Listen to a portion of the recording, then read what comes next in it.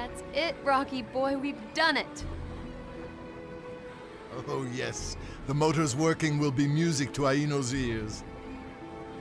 Don't think we Undine have ears. Soon the waters will be pure again, and Undine life will return to normal. For the survivors it will. But we haven't seen too many of them. Jen? Scree? There are more survivors than you imagine. You can hear a signal to my people telling them it is safe to return to the lagoon. Many had fled to secret waters, which are full of different perils. Not all will have escaped those dangers, but most will return safely. That's great, Aino. Really great. I'm only sorry your husband had to... that he had to die for all this to come right. I'm sorry. He died long ago, when the affliction first came on. It wasn't my Adaro that you killed.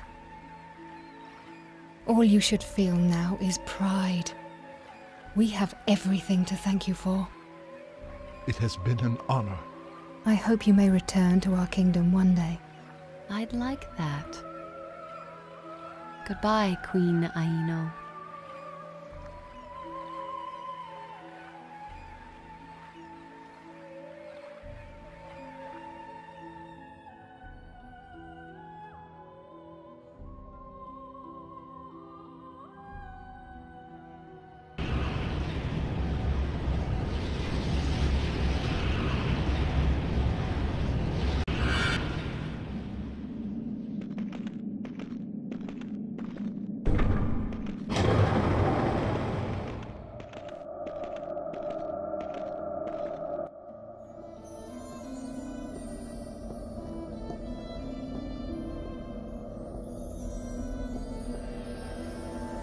Jennifer, Scree, you have both done much to commend yourselves.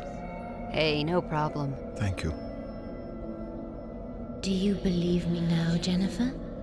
That Abaddon is a danger to these realms, and that he and his agents must certainly be stopped.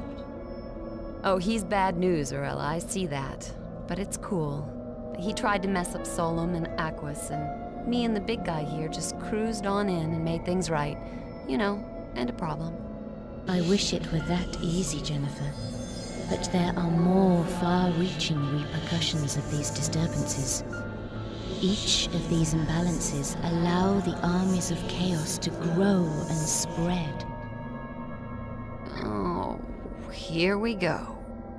You are far from the end of your journey, Jennifer. No, no, no! I can't keep bailing you guys out, okay? I got my own priorities. I need to find Lewis and get back home. Look, I've helped you plenty now, Arella, and I don't mind cause, cause I like you, but for me, this is the end of the line. Jen, I'm sure that... Hold on, mister, cause I'm talking to you too. And I mean back there. Yeah, okay. I know you did the right thing in the end, but without me, you were gonna put that guy through the blender. Victory at all costs. And then shouting at me not being ready to make sacrifices. Well, I'm telling you, I've made enough. No, Jen, no, that's not what I was saying. It wasn't about you. And while I'm at it, Arella, don't you think, as the so-called leader of the forces of order, that you've been just a little bit negligent?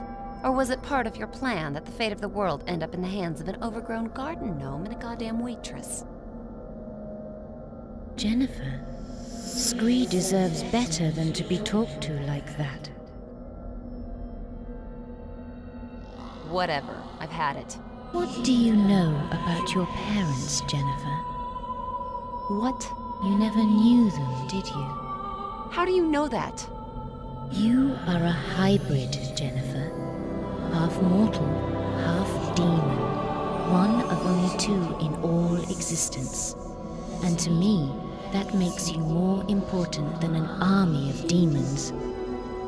Did you think it was just those trinkets on your arms that allowed you to change form? You have powers even Abaddon does not fully comprehend. You can go anywhere, Do things that Belazar could not if he had a millennium. The laws of the Nexus are yours to break. And Louis is the same. You're lying. I had an army once, Jennifer. Just after you were born, I lost it all in a battle to wrest two infants away from Abaddon.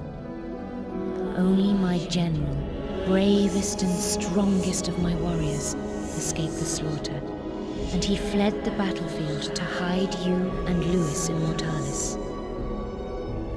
He was captured on his return, and Abaddon gave him to his warlord Belazar so that they might learn of your location. He endured monstrous torments at their hands, but he never spoke a single word as to your whereabouts. Eventually, after many years of torture, he was able to disguise himself and make his escape. To this day, he is believed by our enemies to be dead.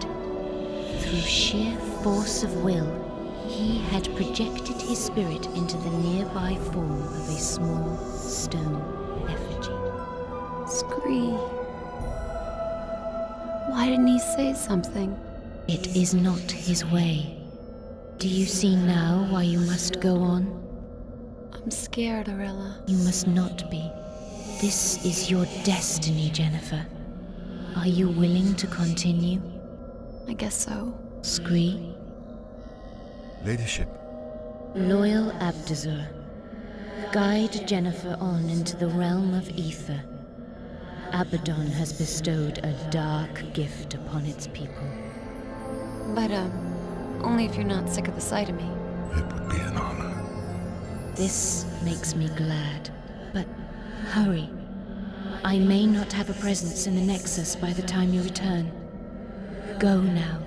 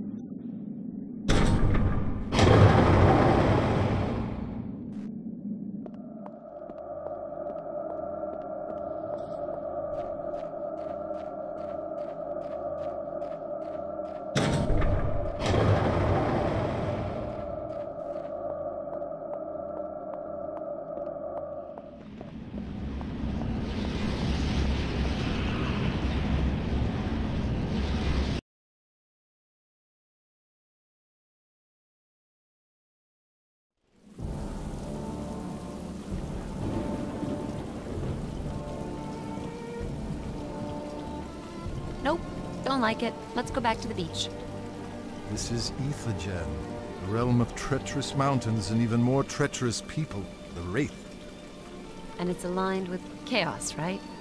In Solum and Aquis, Abaddon was trying to overturn the natural balance. But Chaos was already drawing power from here. Doubtless, Abaddon's plan for Aetha has simply been to tighten his evil grip.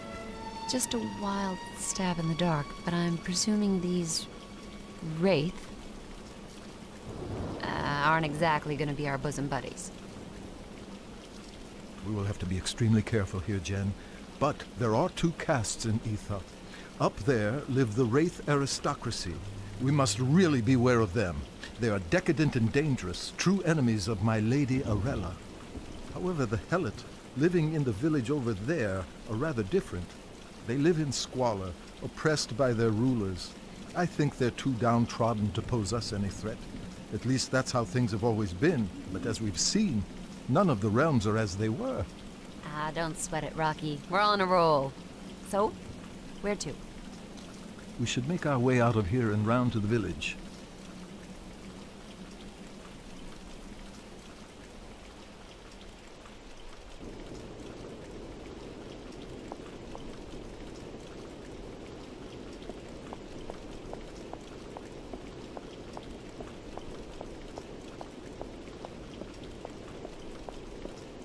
I'll need Scree to help me with this.